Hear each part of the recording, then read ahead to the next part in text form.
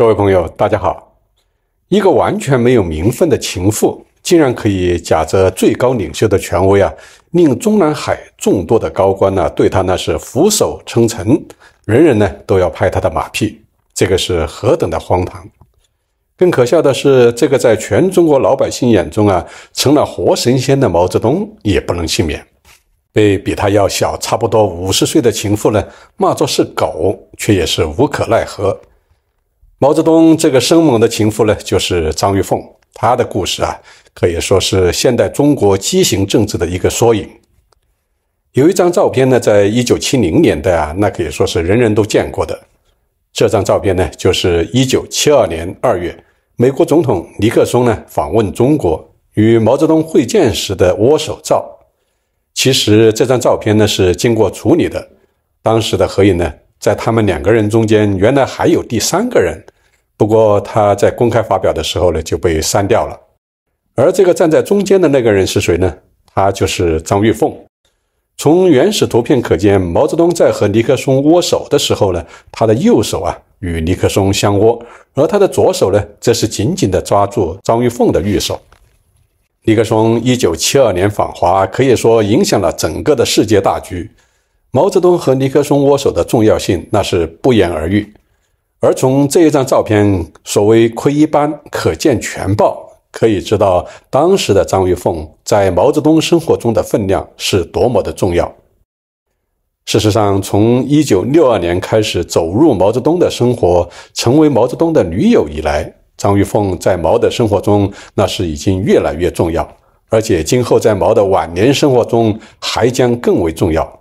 从那个时候开始，张玉凤不仅开始主宰了毛泽东的生活，而且在政治上呢，张玉凤也开始扮演越来越重要的角色，甚至一举取代江青，成为中南海的不折不扣的第二号人物，是毛泽东最放心的大管家。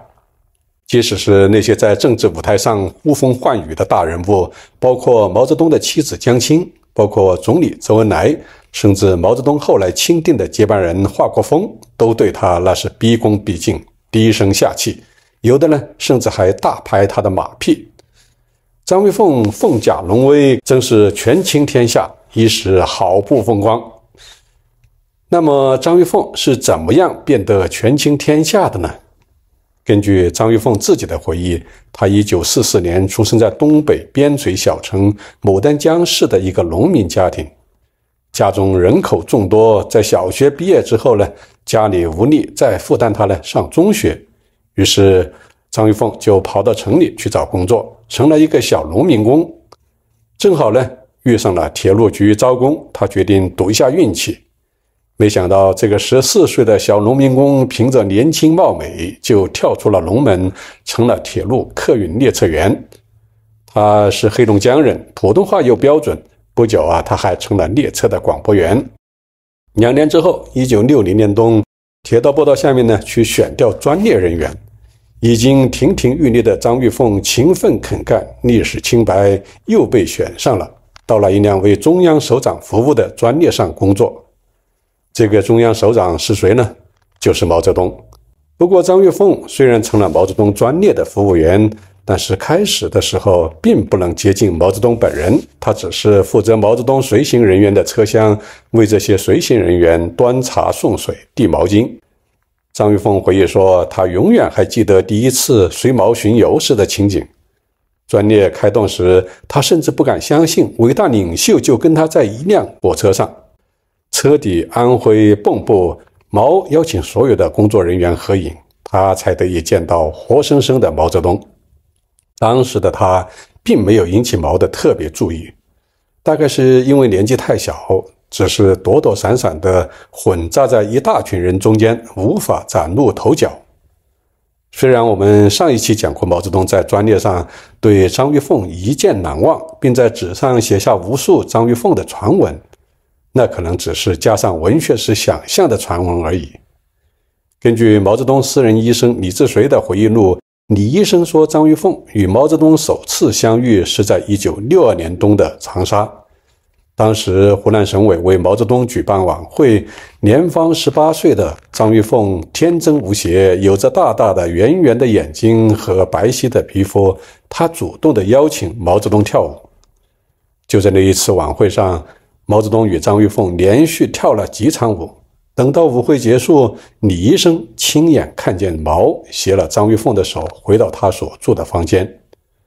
第二年，也就是一九六三年，未婚的张玉凤为毛生下了一个儿子，毛泽东亲自命名叫张兰子，跟母姓。我们在上一期呢已经讲过，就不重复了。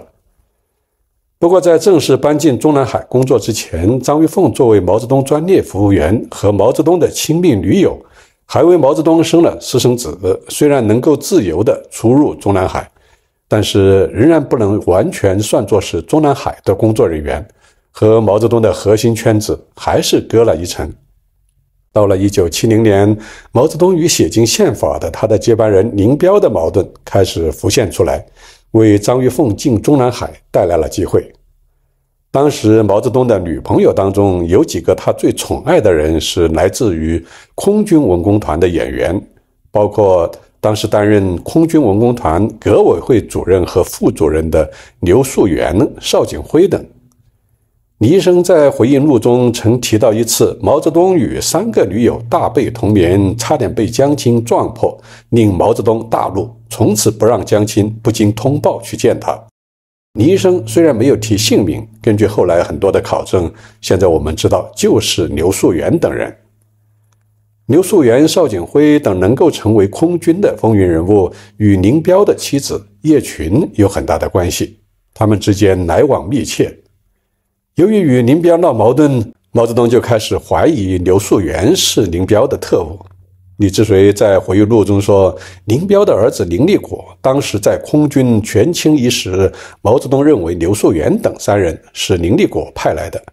毛还亲自对李医生说。这些人呢都靠不住，就是在这样的情况下，毛泽东果断地把一些他怀疑的人都从中南海里赶走了，断了林彪在他身边的眼线。而张玉凤就是在这样的情况下，在一九七零年的七月呢，正式搬进了中南海，成了毛泽东的生活秘书，照管他的日常生活。根据张玉凤的回忆，就说啊，已经担任毛泽东专列服务员八年了的张玉凤呢，当时啊，他正在清扫车厢，列车长通知呢，他去一趟中南海，来不及梳理，就跟着来接他的人呢走了。他完全没有想到的是，他将在这里啊，伴随毛泽东度过他生命的最后岁月。接待张玉凤的是中央办公厅副主任张耀慈，另一个呢是毛泽东的护士长吴旭军。问话很简单，愿不愿意到中南海当服务员？就这样，张玉凤正式成了毛泽东的贵妃，并开始取代江青的地位。也许有人会问：江青那时为毛泽东在文革中冲锋陷阵，是毛的重要帮手，但是为什么就成了甩手掌柜，对毛泽东重用，并和一些年轻女人鬼混，完全不管呢？据李志绥医生说啊，毛泽东的护士长吴旭军呢告诉他，早在庐山会议的时候，毛泽东和江青曾经有过一次谈话，两个人达成了一份协议。毛呢向江点明了他的私生活问题，并要江青呢不要过问他的私生活，而对江的补偿呢，就是毛在政治上提拔和加以保护。正是江青的缺位，就导致了张玉凤的上位。张玉凤的运气呢也很好，她在搬进中南海之后不久，毛泽东就生了一场大病。贴身又贴心的女人呢，她的这个精心照顾，对身体越来越差的毛泽东来说，就变得越来越重要。而张玉凤在中南海的地位呢，也开始变得越来越重要。当然，随着他地位的提升，也开始了目中无人，看谁都不顺眼。并怼天怼地，甚至呢还怼上了江青。据李志绥医生回忆，在一九七一年，当知道毛泽东发病后，江青和周恩来去看毛，江青啊，并对李志绥医生大发雷霆。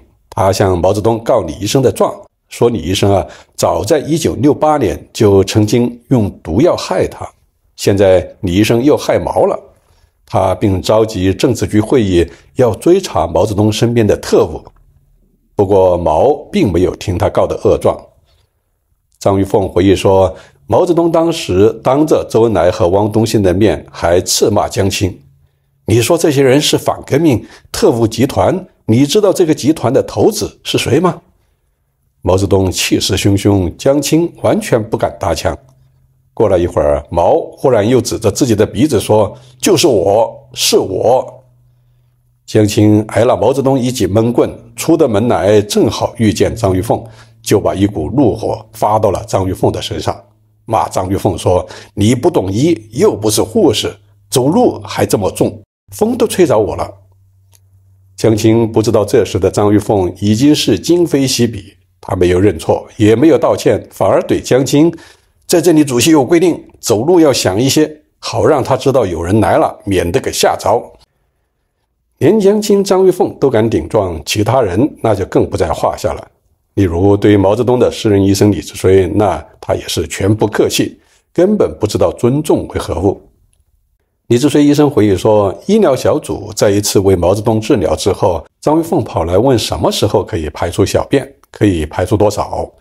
李医生告诉他，一般四小时可以排出约两千毫升小便。张玉凤冷笑着说：“你们有把握吗？”李医生回答说：“治病不是算命，我们根据病的程度和所用药量能起到的作用来分析。最重要的是要按规定的药量和时间服药。”哪知道张玉凤说：“只要我不管，那是护士长的事儿。”说完，他就到毛的书房里去了。医疗组的吴杰医生问道：“这个张玉凤是什么人呐？说话怎么这么没礼貌？”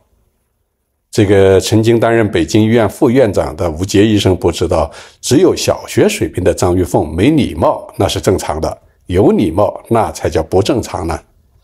又例如，一九七四年十二月二十三号，周恩来和王洪文向毛汇报工作，张玉凤完全不顾场合，就对周恩来抱怨说：“你看，现在什么事儿都要我管，主席的吃喝拉撒睡都要我管，你也不管管。”把周恩来弄得那是很尴尬。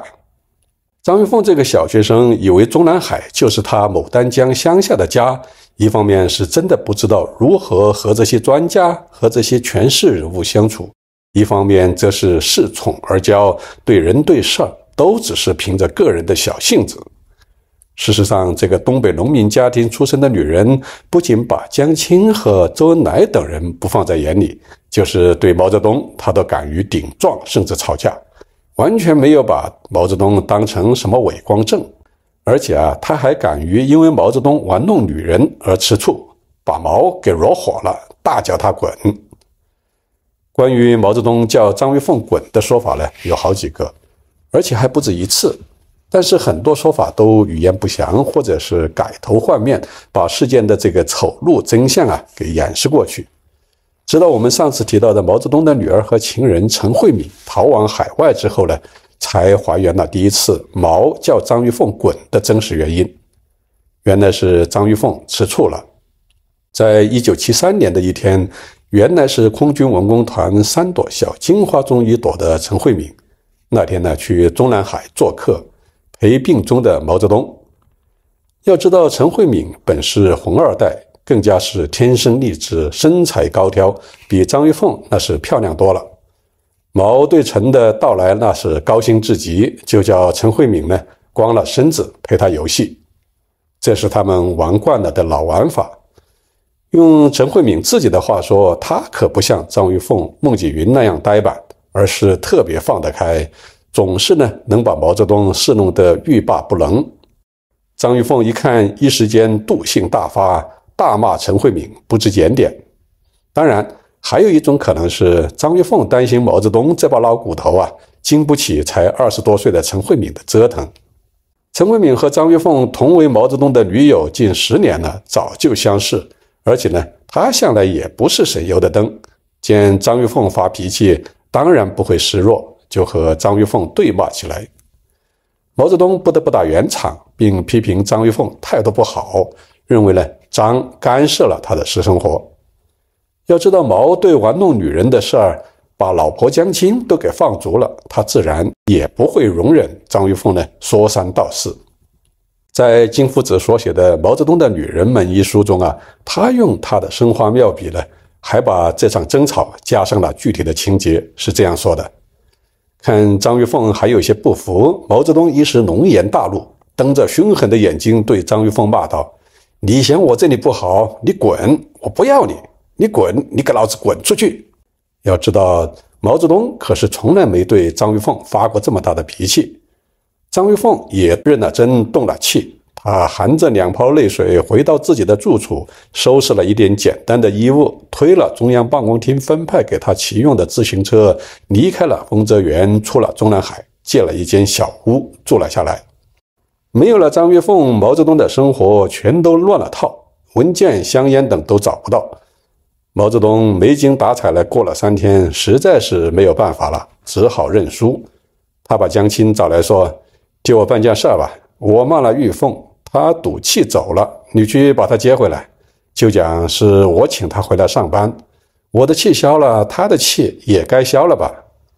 江青难得毛泽东求他办什么事儿，自然是满口应承，立即亲自坐了大红旗轿车去接张玉凤。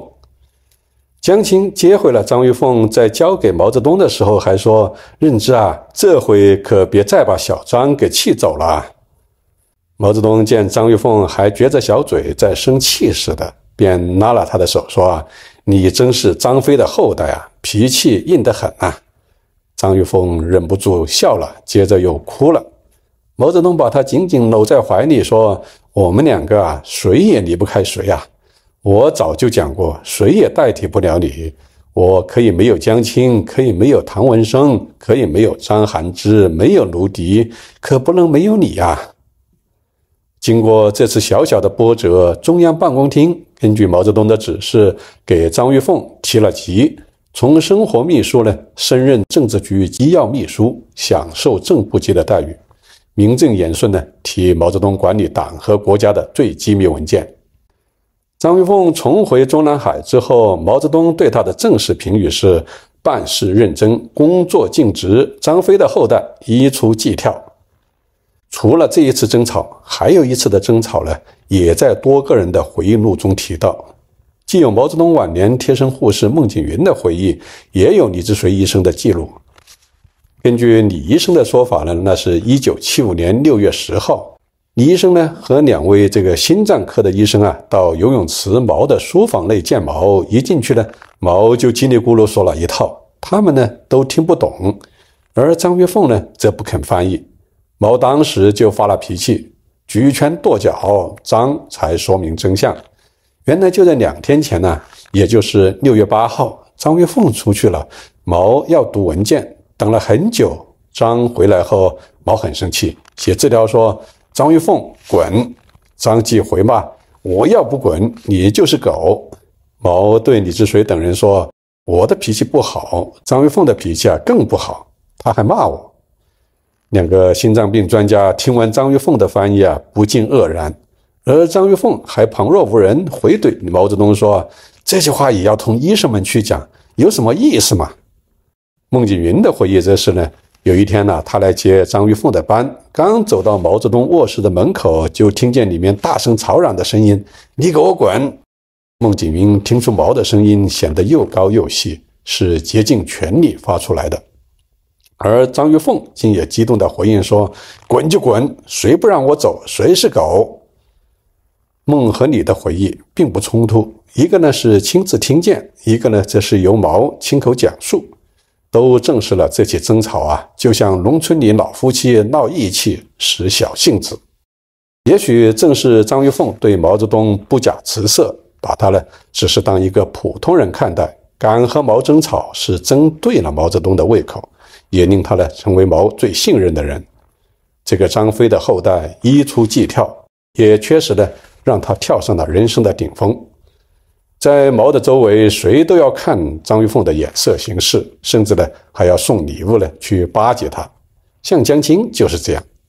孟景云说，江青为了让张玉凤在毛面前呢多说好话，让毛呢多见见他，总是有空啊就找张玉凤聊天呐、照相啦、吃饭呐、打电话啦等，还常常送来一些丝织布料等礼物。张玉凤有时见毛泽东不同意见江青，就会问他说：“你干什么老不见人家啊？人家老太太怪可怜的。”毛泽东就回答说：“你就见他可怜了，你还没见到他可恨的时候呢。”有一次，张玉凤故意穿上江青送给她的衣裙，站到毛泽东的面前问：“您看我穿这条裙子好看吗？”毛泽东连说：“好看，好看。”谁给你的？告诉你吧，这是江青同志送给我的，我特意呢穿给你看看。毛泽东闻言便马上把脸一沉：“快去脱下来，一点都不好，以后不要要他的东西。”那个时候，据说是毛泽东的特务头子康生在临死之前呢，把江青呢曾经在历史上叛变的事情呢告诉了毛泽东。毛觉得江青呢已经成了他的负资产，要疏远他。我们今天就讲到这里，下一期呢我们将继续讲述这个张玉凤的故事。谢谢大家收看，再见。